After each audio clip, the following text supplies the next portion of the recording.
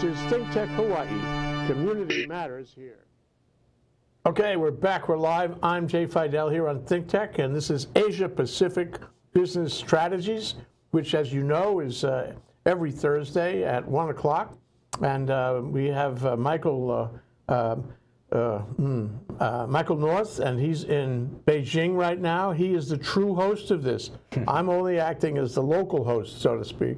Uh, and Michael is going to um, interview our guest, who is Bronson Chang. Bronson Chang is associated with um, name of the company now. What is it? Uncle Clay's House of Pure Aloha. Uncle Clay's House of Pure Aloha.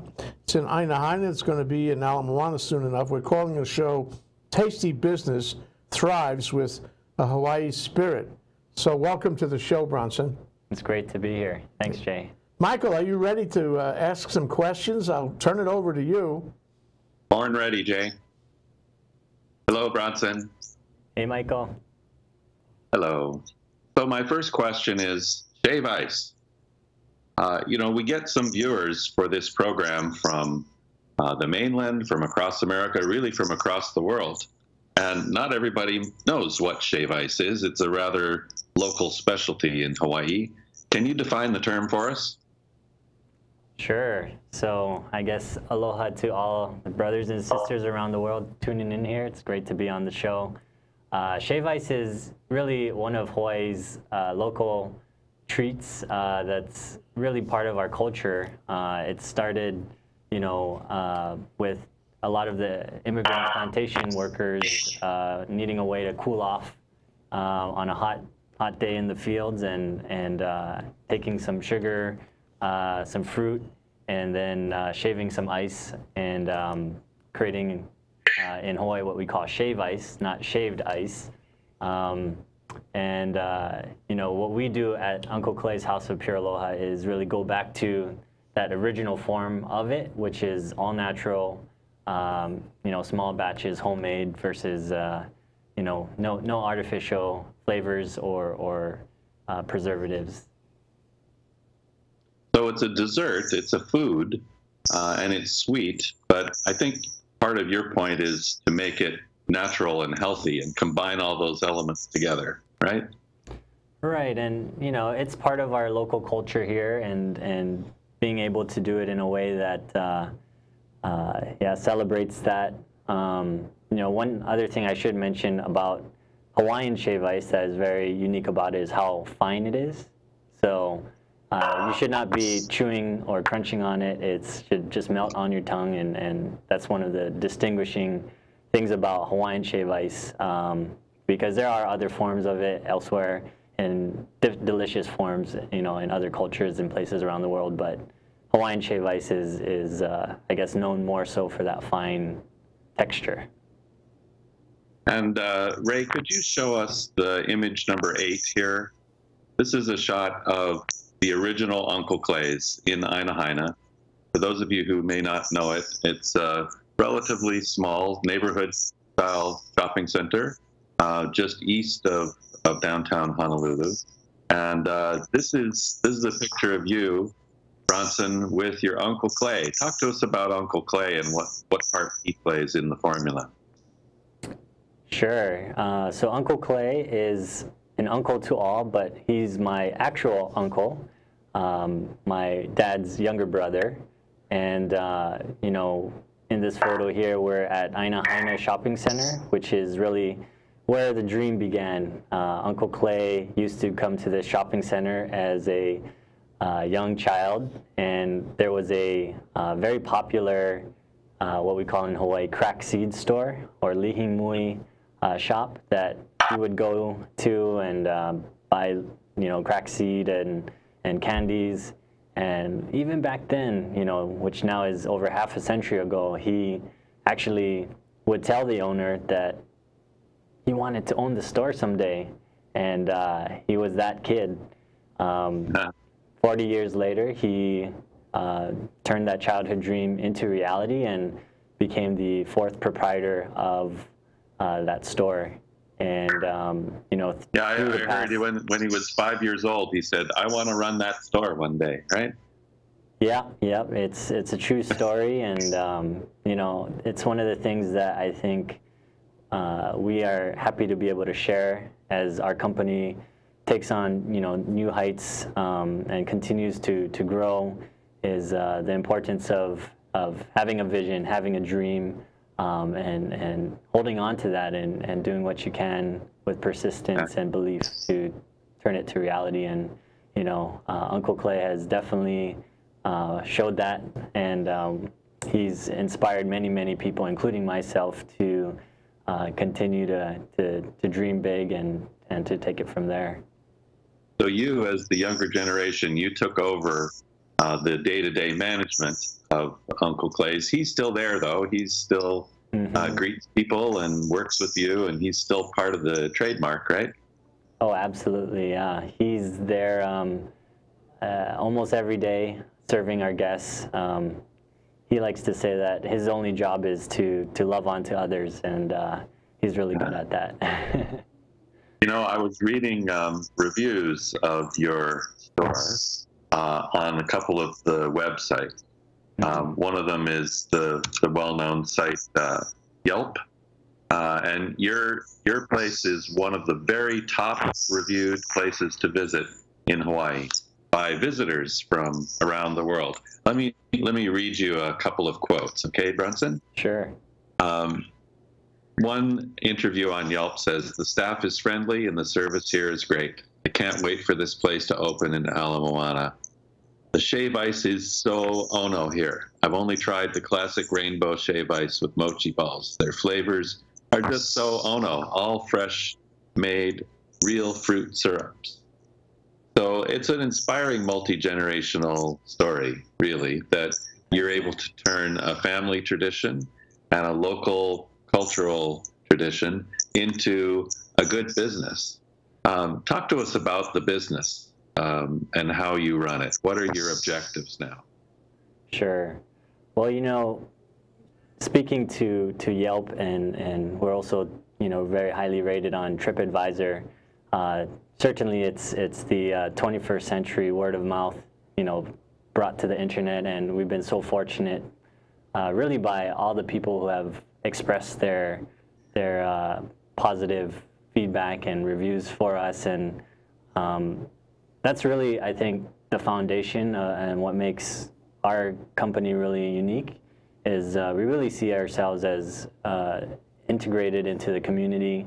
Um, we would not be where we are today if it weren't for all the multitude of uh, relationships uh, that you know really make a small business successful. You know, it starts with our guests, um, and they're more than just guests, but they're really uh, our ambassadors and and um, you know all the way to our team members and and the, the staff and the team. We we uh, tried to really empower with opportunities to not just uh, work a job, but to be part of a, a greater uh, movement of sharing pure aloha. Um, our vendors um, um, and so on. Ray, maybe you can show us uh, graphic number three here. It shows the review of uh, of the store from Yelp, and we've got um, five stars all across the way. I, I forget. I think it's some several hundred reviews, and I think there's like 98% five star reviews um, yeah, we're over a thousand now. It's and uh, I, I noticed that you're using some language, Bronson, that's kind of modern and kind of corporate. You talk about people being team members and so on. It sounds like you're a Starbucks executive or something. You must have done some some study of the food service industry and of, of retail and so on.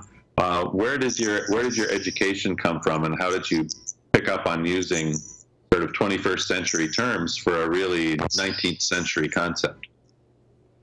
Yeah, well, my my training started with uh, breeding, raising, and selling guppies uh, to pet shops when I was in middle school. That was my first company, and uh, ever since then, I always have been uh, very entrepreneurially inclined. Um, started another uh, online jewelry company in high school. Um, and so I continued down that path and studied entrepreneurship um, at the business school at the University of Southern California um, in Los Angeles. And um, yeah, you know, you, you definitely learn the, the how-tos of business by real world experience combined with the, the classroom experience I had there. Um, but I think one of the most important parts of, of my philosophy really comes from uh, bringing values um, into the business workplace, into building a company. Um, you know, as it, passionate as I am about uh, entrepreneurship and, and business, I am maybe even more so, uh, I would say, passionate about making a difference, about service. And um, I believe that what we have tried to do at Uncle Clay's House of Pure Aloha is to uh, use the tools of business as a mechanism for impacting uh, our community in positive ways. Um, and so uh, it's a learning journey. You know, I, I still don't know a lot, but um, you know, through experience, you continue to grow and learn. So, what to you, Bronson, is is pure aloha? It's a word that is tossed around, and it's become a commodity, and it's used so much that it's become a cliche in some places. But I know that for you, aloha is not a cliche. Can you just give us a spotlight on what it means to you personally and what it means to the, the, the, the employees that you bring into the store and to the clients who walk through the door? Sure. I mean, at its core, in one word, uh, we use the definition of uh, love, pure aloha, pure love. And, uh, you know, aloha is, is something that, yeah, uh, you see used very commonly. Um, and the reason why we added the word pure was to emphasize the true nature of that, which is an unconditional love. I think as we go, we also um, know that it's such a deep uh, word with, you know, a lot of uh, need for reverence, and uh, it has a multitude of meaning and, and layers to it.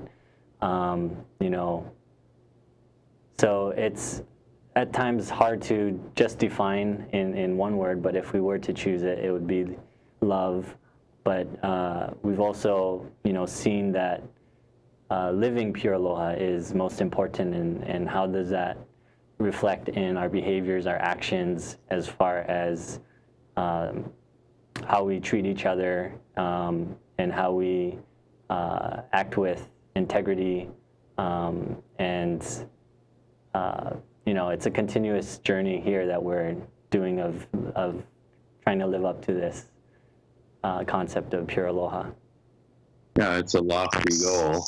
Um, Ray, Ray, if we could bring up the, the next graphic, which is number four. Um, I believe that's the, the review um, from uh, TripAdvisor. Um, wanted to read just a short passage from that. Uh, it says, If Uncle Clay is there, you're in for a treat. He is kind and outgoing and likable.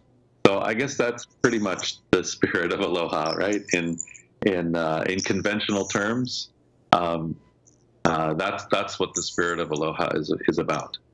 Absolutely, yeah. Welcoming and kind, and uh, we we our vision is is our entire one world ohana living pure aloha.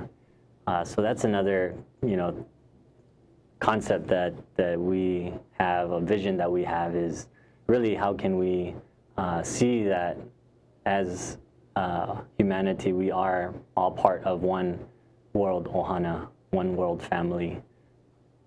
Yeah. Well, in a world where uh, welcoming and kindness and integrity are in, in increasingly uh, short supply, it's good to see that they're available at the Aina Haina Shopping Center.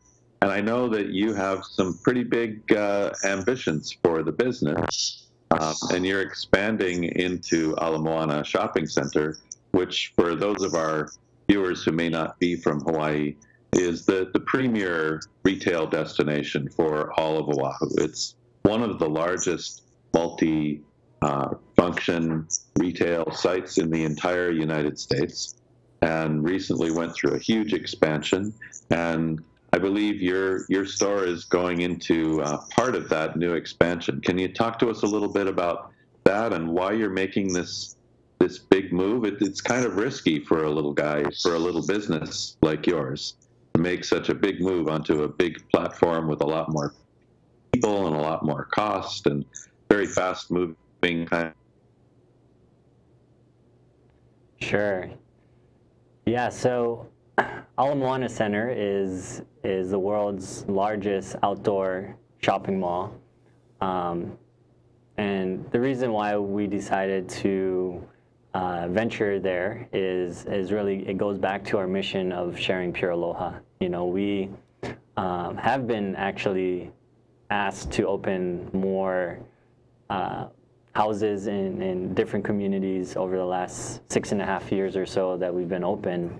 And we really have been waiting patiently for the right one. And uh, we were so fortunate to be invited to the project. Um,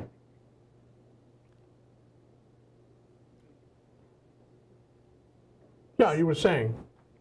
So, you know, we were invited to this project, and as we learned more about the opportunity, we felt that we could, um, yeah, really bring our mission of sharing pure aloha in an unprecedented way, you know, on the world stage, as as we like to see it, of Ala Moana Center.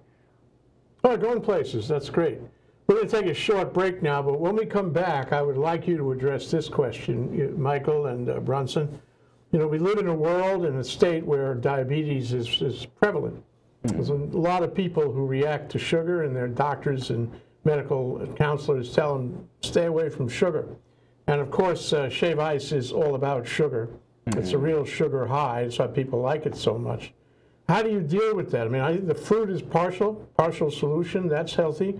But how can you tell them your product is healthy when we have a, an epidemic of diabetes in this state?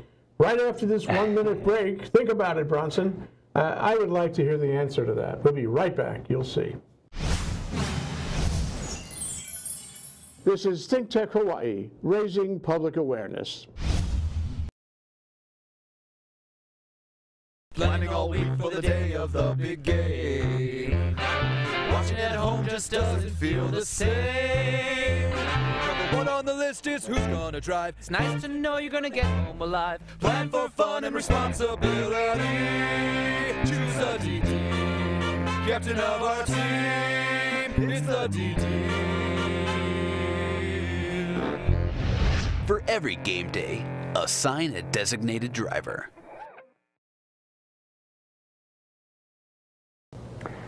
Hi, I'm Pete Mouginis-Mark, and every Monday at 1 o'clock, I present Think Tech Hawaii's Research in Manoa, where we bring together researchers from across the campus to describe a whole series of scientifically interesting topics of interest both to Hawaii and around the world. So hopefully you can join me 1 o'clock Monday afternoon for Think Tech Hawaii's Research in Manoa. Okay, we're back. We're live. I'm Jay Fidel. This is Think Tech. It's Asia Pacific Business Strategies. Michael North is the host of this show. He joins us by Skype from Beijing. And our guest for this show is Bronson Chang. Um, and he is part of uh, Uncle Clay's House of Pure Aloha in Aina Haina, now soon to be also in the Shirokiya space at Ala Moana. So you guys uh, have any comment on a question that I posed before?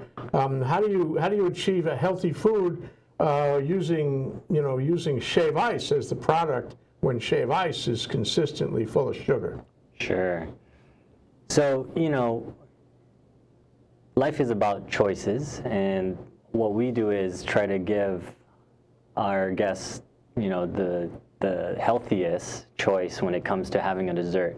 Obviously, there's limitations to that. You know, we could do a purely, you know, uh, non-sugar version, and we've tried a lot of, you know, very hard to to do it, and it's quite difficult to actually make it taste good.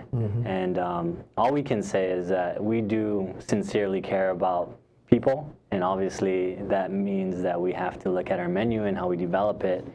And um, you know, one thing that we've done is really, um, you know, if you're gonna splurge on some some sugar and, and have a shave ice, well, why don't you do it without the artificial side, uh, parts of it? The other is don't eat, you know, uh, a mountain of it, and we have a nice tiny portion, right? That um, that you can have. Um, if you want less syrup, uh, we can also do that.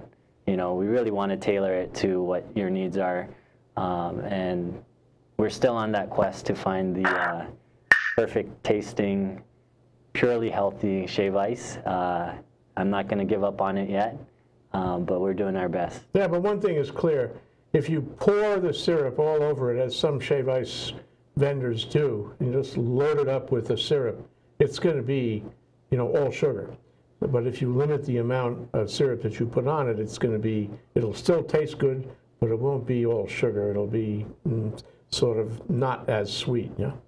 Right, right. Maybe we need to implement a uh, training program. So if you get, you know, you, if you want to buy that big shave ice, well, you better do 10 laps around the mall first. I'll be uh, happy to be part of your testing team, Bronson. I know I can come down and help you out. All right, Michael, yours now. Okay.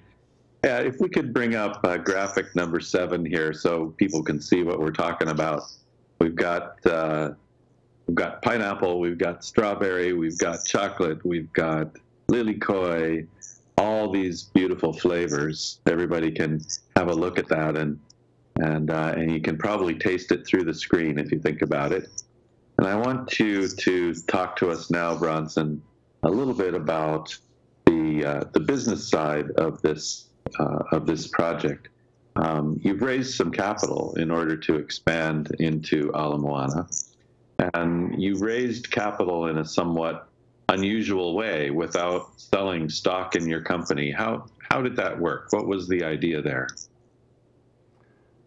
Well, uh, I'm talking to the guy who helped me here, Michael, and uh, I was introduced to um, to you uh, to discuss uh, the opportunity to use royalty investing, uh, royalty-based financing, and it really intrigued us because uh, as a growing company, you know, we wanted to manage how we, you know, uh, managed ownership of it.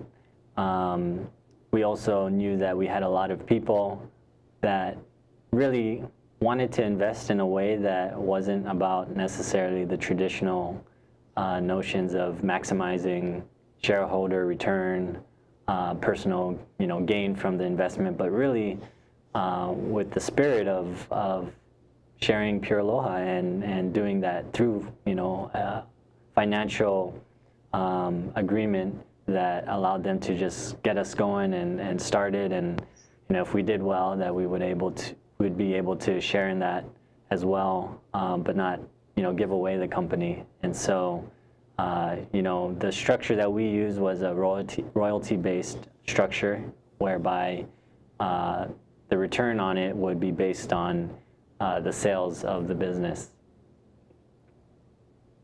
Right. So you're able to substantiate that there's uh, solid projections for increasing revenues. So if shareholders um, share in that uh, in that increasing revenue, then they will have immediate return rather than waiting for you to be able to sell your stock at some time in the future.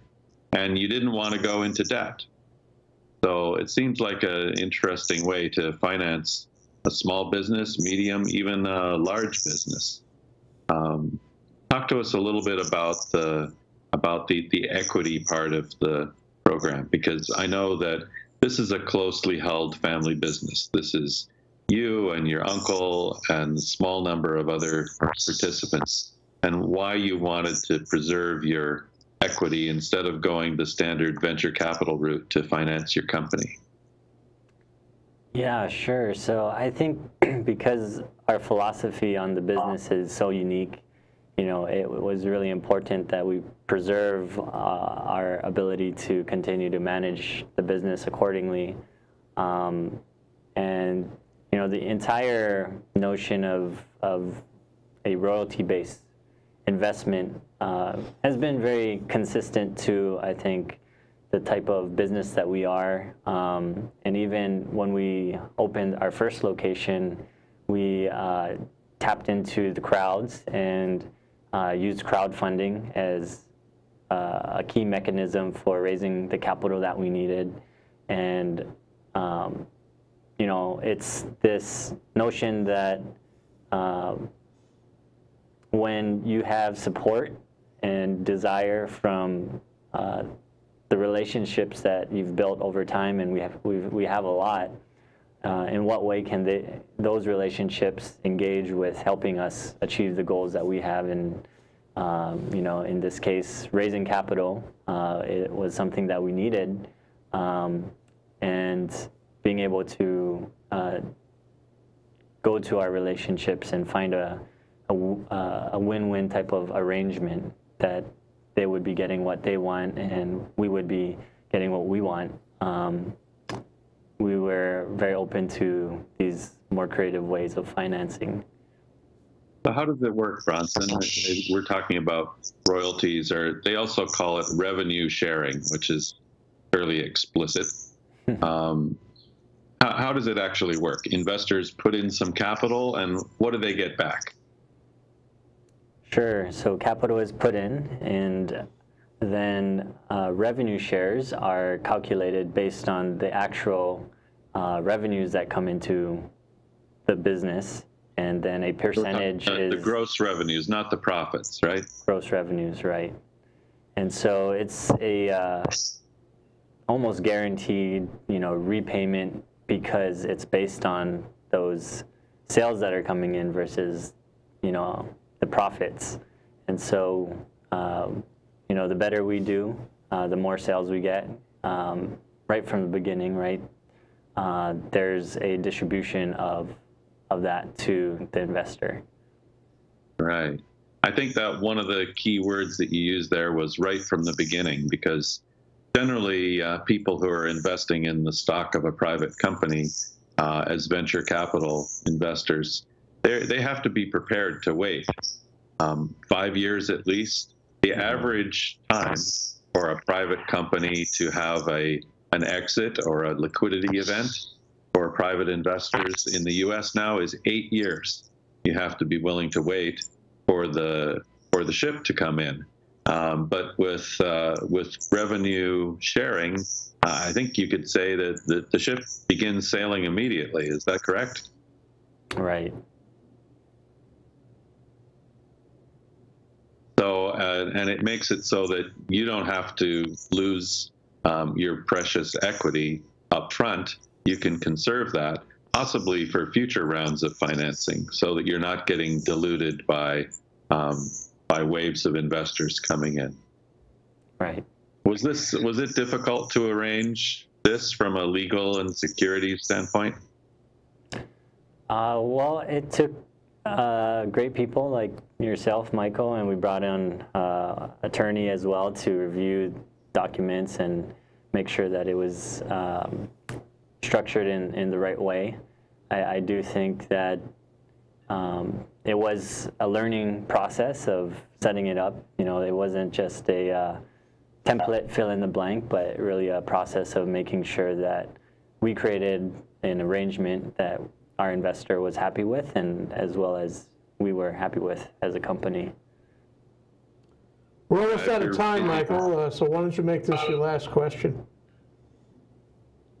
Um, maybe you can speak to us finally about where you see the business going and what is the meaning of this project ultimately for you and your family, Bronson? Yeah, well, we really do feel that uh, we're on a mission of pure aloha, and we're doing that one shave ice at a time. Um, you know, from day one till today, we've always uh, had that as our north star. Um, we've been very blessed to have more opportunities come our way, and uh, I think we're in for an exciting um, month ahead as we open our shop in Ala Moana Center. Um, beyond that, we what's your target date? When do you open the doors? um, we we hope to uh, open by uh, early December, um, if not Okay. sooner. We're trying our best to to uh, rally the project forward. Um, but you know, I think when we um, open this location, we really hope to show that um, you know Pure Aloha has a place in the marketplace. And if we could do it anywhere to show that, I mean, Ala Moana Center is, is a great place to do that. And, uh, you know, You know what they say, uh, if you make it in Ala Moana Center, you can make it anywhere. I think that's what you're saying. Well, thank you very much, Michael and uh, Bronson. Great to have you on the show and to learn about your business and this, this new chapter in it. Hope it works well for you and your investors. Uh, Thank you much, it. Bronson. Thank you, Thank you, Michael. Jay. Aloha, Thank you, everyone. We'll be back Aloha. next, next week uh, with more from Asia Pacific uh, Business Strategies.